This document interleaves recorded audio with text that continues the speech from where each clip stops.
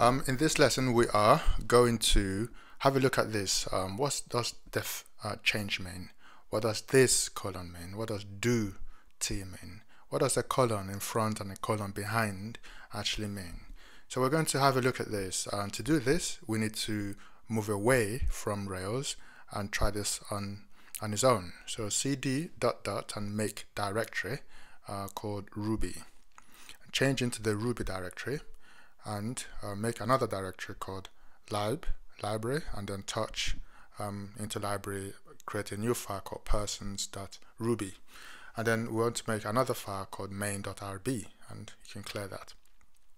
So what we've basically um, done is go to desktop and our projects uh, we've created a ruby folder we've created a library folder we have a main and in library we have a person library. That's what we've done Okay, so Sublime dots and we open up um, our new practice folder. Okay, so double click uh, on person to have that open. So what we do, we create um, a module. So it's a module greet, so that's how it's done. And within modules, we define what's called methods. So method definition. We'll call this introduce. And basically, I want this method uh, to simply introduce myself. My name is Kingsley and n. Okay, well, we can add another method definition, uh, study, and this basically says uh, Kingsley is uh, Kingsley studies software testing. Okay, so that's um this is a module. A module uh, is a reusable code that you can use in different parts of your project. So let's say we have main.rb and we want to use uh, our files from uh, our module, first we require the file that that module is um, created in, and then we include the actual module uh, within our main.rb. So this is, you know, um, just bringing this in. This is how Rails work. And now that we've done that, we want to use these methods, call the methods. And to do that, you simply just say introduce. Alright, so to run it, make sure that you're in your Ruby folder and just say ruby space main.rb. Okay, so we haven't exactly said uh, to print, so I'm going to come here and just say p, uh, p for print. So when we uh, run this program again, it should uh, run introduce and say something. So that's it. My name is Kingsley. Um, has been printed on the screen. So we've just created a method, we've run that method definition, and that's the first part. So now, when we um, come down here, we could say study, and this will call the other method. Now it says Kingsley Study Software Testing. Alright, so now we can see, uh, or slightly understand this um, code here. So method definition calls create table method.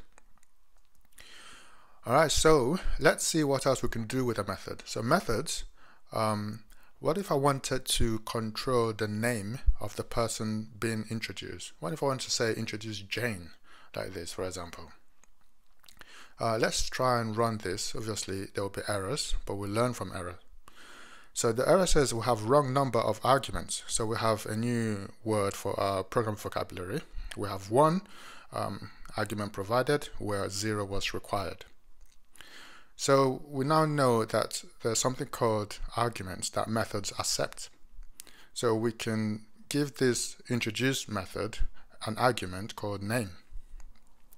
So when we call this, we can put this as parentheses like this. It still works, but it's a bit more readable if we just left it out like this. So now that we have uh, passed in an argument into this method, we can basically use it um, within the method like this. So I want to uh, add this here, put plus sign. So I'm basically joining uh, the string on the left and the string on the right together. So if I run this again, oh, my Jane is Kingsley. No, that wasn't um, that wasn't what I was trying to do. I've added this in the wrong wrong place. So just undo that uh, what I want to do is get rid of Kingsley and say plus and then put our argument name there. Alright, so when we run this now, it says my name is Jane. So we have learned about arguments. But look at this plus sign. What's this plus sign actually doing? So it happens, this plus sign has a, a word attached to it, which is called concatenation. Um, it's not here. If I if I just search um, concatenate that's it. So it was, it was, right under my nose. So that's concatenation. So it's, it's a good word to write down. Um, programming is really about just learning the different words. So this is, is used here to join uh, something to a string. So concatenate is what is referred to but what happens if we put it in here instead if we put name there um, without concatenating it and let's see what happens we run this it says my name is name so basically um, anything within quotations uh, it will be considered as a string. But there's another way of doing this. So I could say name like this, and really single quotations um, are for characters, and double quotations are for multiple characters or strings. So should really be double quotations. So now that we've done uh, slightly different, it says my name is Jane. So it works exactly as we want it to. Alright, so we could change Jane to Ken and everything works immediately as expected. Uh, so what um, what exactly is this that we've written? So this is another word.